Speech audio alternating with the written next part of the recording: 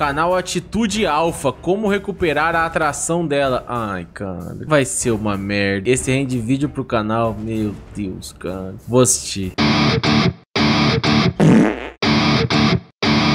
Pô, cara, por que vocês passam isso pra mim? Por que vocês fazem isso? Ah, eu vou ter que falar aqui. Talvez eu pareça preconceituoso. Mas assim, o cara fez um vídeo como recuperar a atração dela. Por que que ele precisa disso? Porque ele perdeu a atração dela. De longe, tá faltando alguma coisa nessa cabeça, né? Tá com um probleminha aí nos cabelos, né? Ah, ele é desses bagulho de red pill. Ah, olha aqui, ó, cara. Ó, que isso, ó. Não precisa disso, cara. Não precisa disso. O carequinha vai, vai dar mulher sobre como recuperar a confiança dela depois que você quebrou a confiança de uma mulher. Que isso, cara? Tá falando pra dentro, pô? Vou ter que aumentar o som aqui. Pô, nem tenho mais onde aumentar o som. E aí? Onde acaba a testa dele valendo sem conto? Ué, lá no cabelo do cu. Rod, se quiser fingir que esse vídeo não aconteceu e não reagir, eu apoio.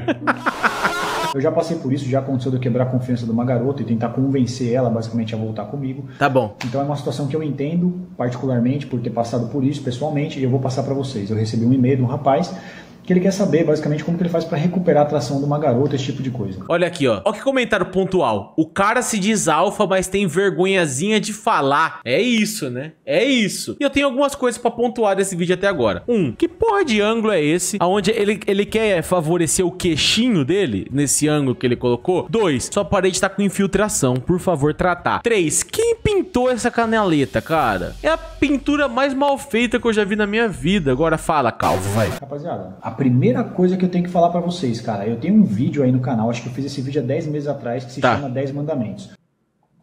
Se por um acaso você for Jesus Cristo, me perdoa. Sei lá, ele é o último cara que eu conheço que fez os 10 mandamentos, né? Mandamento, rapaziada, desse vídeo. Você nunca discute com as mulheres, cara. Você tá me entendendo? Se você for lá nesse vídeo agora, eu acho que é nesse vídeo, tem um comentário do cara que basicamente ele desabafa falando, cara, eu fiz a mesma coisa, fiquei discutindo com a minha mulher, fiquei tentando explicar, explicar, explicar, explicar e não consigo.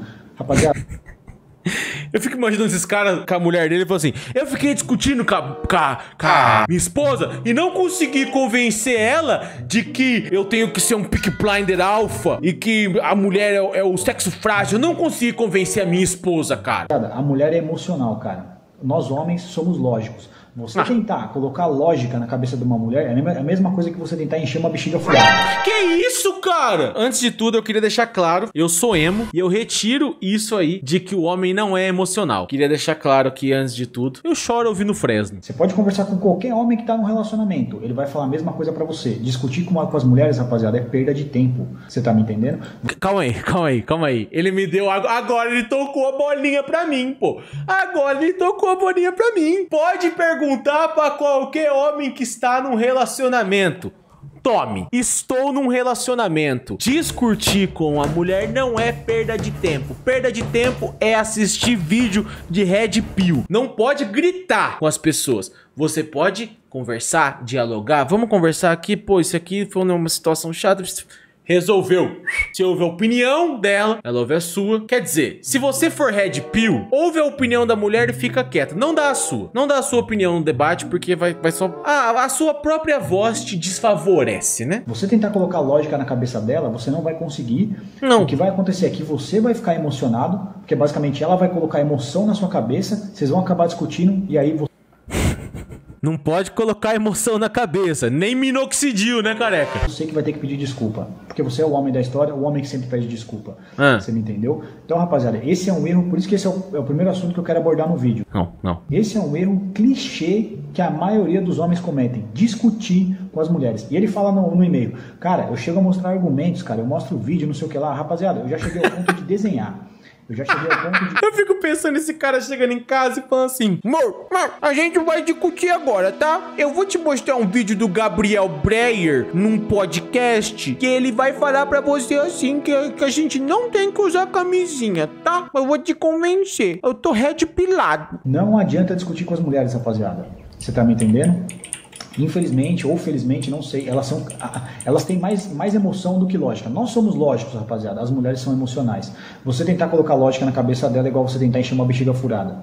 Se eu conversar com essa garrafa d'água aqui, eu vou, vou, ela vai ser mais lógica comigo do que uma mulher. Que isso, cara? Entendendo? Então, assim, esse é um erro clichê que os caras cometem, rapaziada.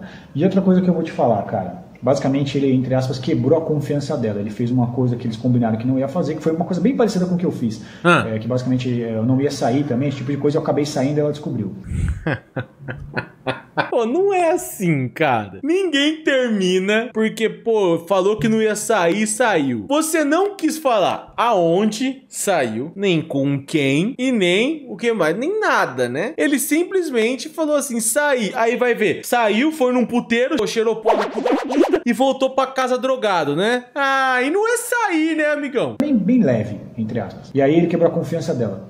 Basicamente, rapaziada, a parte lógica dela tá com a razão, porque tá falando para ela não ficar com você, não aceitar você de volta ou não permanecer com você. Então, assim, o lado lógico dela tá funcionando corretamente, digamos assim. Ah. Tá falando para ela não aceitar você de volta. Acontece que, Pô. se você der espaço Essa mulher tem muita lógica na vida mesmo de não te aceitar de volta, cara. para essa mina, se você falar, olha, se você não ficar insistindo, porque basicamente a, a questão de você insistir, Ó, desenharam o cara aqui, ó. Primeiro dá pra ver que esse cara é o solteiro que nenhuma mina confia, que fica revoltadinho e resolve fazer vídeo. É isso, cara. É isso. rapaziada, você ficar se explicando, você está tentando convencer ela a permanecer com você. Ou seja, você está correndo atrás da validação dela. Ou seja, você está no polo feminino. Então ele fala pra mim, cara, às vezes eu entro no polo feminino e tal, não sei o que lá. Se você continuar com essa postura, tentando convencer ela do erro que você fez, entre Eu agradeço profundamente se algum red pill do chat me falar o que, que é o polo feminino. aspas, do erro que você fez, de ter quebrado a confiança dela, como que você vai recuperar a atração dela, rapaziada? Você vai ter que dar espaço pra ela. É por isso que eu falo pra você, cara. Você não discute com as mulheres. Ele viu uns problemas muito grandes, né, cara? Ah, você vai ter que dar um espaço pra sua mina no relacionamento, hein? Se você tá passando por uma situação assim, você tá discutindo com ela, ou ela quer discutir com você, cara, e você vê que você não conseguiu resolver o negócio, porque discutir com mulher é você ir do nada pra lugar nenhum. Você tá me entendendo? Que isso, cara? Meu Deus, cara! Eu tô preocupado com esse careca já. Então, assim, se você não conseguiu colocar o seu argumento na cabeça dela e fazer ela concordar com você, você vai falar o seguinte: olha, eu vou embora, beleza? Você tem meu número aí, quando você puder, você me liga. Se essa Pô, eu fiz catequese, cara. Tá no meu ser ter que me preocupar com as pessoas. Esse cara precisa urgentemente de um tratamento. Alguém precisa dar um abraço nesse cara, cara. Mano, é só eu, mas alguém imagina que esse careca faz banheirão. O que, que é banheirão? essa mina não te procurar, se essa mina não vier atrás de você, rapaziada, você nunca mais vai falar com ela, cara. Então, esse é o, esse é o estágio, basicamente, que você tá. Que basicamente ela falou pra você que ela não sabe se vocês devem permanecer juntos, alguma coisa assim. Se você ficar tentando conversar com ela usando lógica, de, de explicar o que. Porque basicamente você fica tentando justificar o que aconteceu logicamente. Lembra quando você fez aquilo, você fez aquilo, isso me deixou puto? Foi por isso que eu agir dessa forma e tal. No meu caso, rapaziada, basicamente eu deixava ela sair. E Ah. quando eu queria sair, ela não deixava. E eu ficava tentando me explicar Ah. todas as vezes. Até que chegou uma vez que eu ia num negócio banal, eu ia é, numa festa junina, cara, de rua. Ah. E aí eu falei pra ela, tô indo numa festa junina e tal. E aí ela falou um monte, ficou puta, não sei o que lá. Eu já tava de saco cheio de discutir, sabe o que eu falei? Tá bom, boa noite. E fui, cara. Então, assim, é o que eu tô te falando. Essa menina devia agradecer pra Deus, né, mano? Se alguém souber aí quem que é a namorada do careca, manda uma mensagem pra ela lá e fala assim: pô, agradece a Deus. Vai andando a pé pra, pra Aparecida do Norte pra agradecer essa bênção que Deus fez na sua vida, que foi te tirar disso aqui, cara. É, você discutir não vai, não vai dar em nada. Beleza? E você ficar te- tentando se explicar do que aconteceu, tentando usar lógica de novo, não vai resolver. Você tem que falar o seguinte: olha, eu já te expliquei tudo, já falei pra você qual é o meu ponto de vista, eu já falei que eu gosto de você.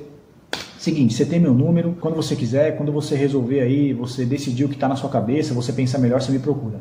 Se essa menina não te procurar, rapaziada, você correr atrás dela, só vai colocar você cada vez mais no polo feminino. Aí, de novo isso, cada vez mais a atração dela por você, beleza? Esse é um negócio que você tem que, é, entre aspas, entender, rapaziada. Correr atrás dela, ficar tentando convencer ela, justificar o que aconteceu, justificar que você gosta dela, alguma coisa assim, pela lógica, Ah. só vai derrubar cada vez mais a atração dela, porque você tá entrando cada vez mais no polo feminino. Ih, cara, ele tá se perdendo, ele tá falando a mesma coisa, cara. Ele não vai mudar esse assunto, não? Tá até agora enchendo o saco e não fala porra do como recuperar, pô. Pra fazer essa mina recuperar a atração por você, você vai ter que sair fora, dar espaço pra ela e deixar as emoções dela voltarem e começar a sobrepor o lado lógico dela. Porque o lado lógico dela tá falando o quê? Termina com ele. Ele quebrou sua confiança, termina com ele. Você vai ter que deixar as emoções sobreporem esse lado lógico, que vai ser a saudade, vai ser o amor, vai ser as imaginações, que vão sobrepor esse lado lógico e fazer ela Tá decretado pelo Red Pill. Só a mulher sente saudade, só a mulher sente amor. Olha aí, ó. O Red Pill decretou. Mano, o único lado lógico que essa mina teve até agora foi dar um pé nesse cara, mano. ela vir te procurar. Você tá me entendendo? Você vai... é, Como que você faz isso? Dando espaço pra ela pensar sobre isso. Você tá me entendendo, rapaziada? É a única estratégia que eu tô te falando. Você ficar tentando insistir não vai, não vai convencer ela. Então, assim, Se você quiser tentar falar com ela uma última vez e falar para ela algo do tipo, olha, e aí, é, você pensou, tal, ou então assim, aquilo que aconteceu aconteceu, tal, já falei para você que gosto de você e ela continuar é, sendo indiferente com você, tem que continuar te dando aquele belo daquele gelo, esse tipo de coisa, que ela fica calada no telefone, esse tipo de coisa, você vai falar, olha, é bom, eu vou desligar, você tem meu número, quando você quiser você me procura. Certo? Mas você já falou isso aqui, tá? É a segunda vez. Você, você tá, já falou duas vezes já que é, que é pra ligar. Você que ligou, encheu o saco. Ela já sabia disso. E ela não ligou. Rala, rala, careca. Se a mina não te procurar, você nunca mais vai falar com ela. A questão é a seguinte, rapaziada, olha só. O que eu vou falar para você aqui agora é que quando a mulher voltar para você, cara, você não pode aceitar ela de volta, rapaziada, numa boa. Ah. Senão você tá mostrando que você é um bosta. Você tá falando, cara, eu não tenho ninguém, e assim, eu tô feliz por você ter voltado, porque eu tava com saudade, e você vai aceitar ela de volta numa boa. Ela, ela... Mano, a melhor coisa que acontece pra mina é ela não atender então a primeira ligação, né? Porque daí ele decidiu que não vai encher mais o saco. Então essa mina ganhou um presente, cara. Caralho, cara, tem salvação. Ela já vai voltar com você, a atração dela já vai voltar caindo, cara. Você tá me entendendo? Então você basicamente tem que mostrar que você não gostou do que aconteceu. Vai falar, cara, olha, tentei conversar com você, entendeu? Você não veio falar comigo. Então, assim, não é simplesmente assim, eu tô à sua disposição e agora que você veio me procurar, eu vou voltar com você. Não é bem assim. Ah. Entendeu, rapaziada? Então, cara, você tem que fazer essa mulher ser submissa. Você tem que mostrar que você tá no comando, que você é confiante, que você é seguro. Ah, aqui, careca. Travou meu efeito. O efeito não foi. O efeito foi. O efeito foi, careca. Vai tomar no cu. Puta que me pariu, cara. Isso vai mostrar que você é masculino, vai mostrar que você é confiante, que você tá no comando e vai fazer a atração dela pra você subir mais ainda. Bom, o que mais que eu tenho que falar? Nada. Sobre pedir desculpa, rapaziada. Quando você pede desculpa sobre alguma coisa, rapaziada, você tá indicando fraqueza. Qualquer sinal de fraqueza pra mulher derruba a atração dela. Tchau, tá?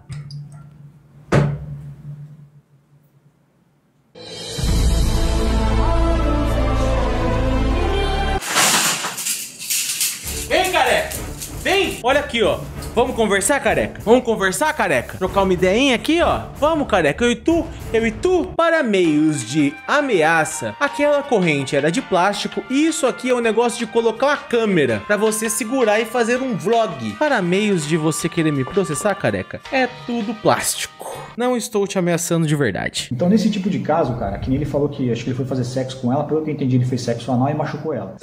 ah, e é motivo pra término. Foi comer o cu e comeu o cu com dor. Ah, cara, vai tomar no cu. O que que tá acontecendo, cara? Você pedir desculpa, você tá colocando mais gravidade na situação. Então você tem que tratar, rapaziada, como se não fosse nada demais, cara. Você tem que falar, não, da próxima vez a gente coloca mais lubrificante, alguma coisa assim, ou a gente não faz mais isso. O que que virou esse vídeo? Falar desculpa, você vai, você tá dando mais gravidade pra situação, rapaziada. Você não pode tratar. Pô, na moral, na moral, você imagina você mandar e-mail pra um coach, aí você abrir o seu e-mail, né? Aí você digita aqui, ó. Olá, coach. Tudo bem? A minha namorada não quer voltar comigo. Ela saiu de casa e não me responde mais as minhas ligações. Já tentei pedir desculpas, mas ela não me ama mais. Ah, o motivo você vai querer saber, né? Comi o cu dela e doeu. Ah, cara, que porra de, de conversa é essa? Tratar a situação com gravidade. É por isso que eu falo, você não pede desculpa pra mulher. Beleza? Então, é isso outra coisa que ele fez também, cara. Se você pede desculpa, basicamente você está concordando que o negócio é grave e aí que o negócio vai por água abaixo de vez, cara. Você tá me entendendo? Então, tô. Essa é a posição que eu falo para você. Se você machucou ela no sexo anal, alguma coisa assim, você vai falar, da próxima vez a gente coloca mais lubrificante, tal, alguma coisa assim. Se você quiser experimentar em outra posição, a gente pode tentar. Trata com normalidade, cara, beleza? Mas não pede desculpa. É que nem quando uma criança cai no chão, rapaziada. Quando a criança cai no chão, se você se impressiona, alguma coisa assim, ela vai começar a chorar. Entendeu? Agora, se você dá risada, trata com indiferença, às vezes ela nem vai ligar, cara. Ela vai. Esse cara tá ensinando que você tem que, que pegar as crianças. Criança tomou um capote, você fala assim: foda-se. Ai, criança, te vira. Eu não vou nem olhar pra ti. Se foda aqui. Rebentou a moleira? Eu não vou nem olhar pra ti. Se vira, te vira. Ó, aqui, ó. Ó o Demogorgon. Tá com a moleira aberta e tá vivendo normal, ó. Ó, abriu a moleira aqui, ó. Tá vivendo normal. Frescura tua, criança. Frescura tua, criança. Rala, rala. Ah, vai começar a dar risada, vai sair correndo. Você tá me entendendo? Então, assim, não peça desculpa, beleza? Bom, eu acho que eu falei tudo que eu tinha para falar para vocês nessa hipótese de recuperar, recuperar a atração. Assim, meu irmão, o que eu te falo é o seguinte, cara. É uma lição, cara. É uma lição. Você vai perder mulher. Eu já perdi. Eu falo pra você, teve uma mina que eu peguei acho que ano passado. Hum. E eu não conhecia ela. Ah, bom. Achei que ano passado era o ápice da pandemia. Eu vi ela na rua e eu consegui pegar essa mina. No mesmo dia que eu peguei, no mesmo dia eu perdi. Ah. É uma coisa que vai incomodar você por um tempo, rapaziada. É uma coisa que vai ficar um. Um dia, hein? Um dia a mina demorou a perceber que ele era um arrombado. Eu tô no mínimo. Eu tô no mínimo. Triste. Triste de ter vivido essa situação aqui hoje. O meu dia acabou. Obrigado, viu, coach? Obrigado, obrigado. Agora, se um dia alguém machucar o meu cu, eu vou te mandar um e-mail.